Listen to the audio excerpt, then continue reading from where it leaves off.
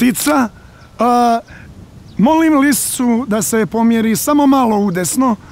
Tako, tako, tica. A ti, bombončiću, nasloni se na vuka. Tako, tako, tica. Bravo, bravo. Gospodine Čedo, možete li doći? Izvolite. Znate, treba mi još jedan statista. Još jedan sta, sta- statista. Aha, šta, šta?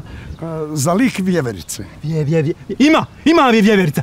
Je, li ona isto sto, sto, sto, sto mama maraka? A, isto sto maraka, ali trebam li za taj lik unaprijed platiti? Te, te, treba, go- go- go- gospodine Mladene. Znate kakve su ove seoske vje, vjeverice? Vole k- krckat orase u na, na, na naprijed. A, dobro, dobro, dobro, nema problema, gospodine Čedo. Izvolite sto marona. to, to, jo, jo, još os, osamsto. Molim? E, rekao, osa, 800 metara ima do vjeveričine kuku kuće. Da, ode ja po, po, po nju. Ajde, ajde, požurite, gospodine Čedo, molim vas, požurite. Bombončiću, još par snimaka. Tako, tičica. Komšo! E, a, ne komšo, a! Dobro je da se javi. Sad bi te složio kaj metar drva. Šta će se u tom kostimu?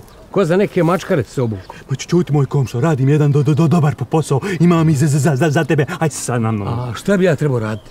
Ko komšo, obučeš se ovako i slikaš se s jednom a, mačkom, znaš kakav je ko avion, dvo, dvo, dvo, to, to, torac. Da budem vuk, a? Au.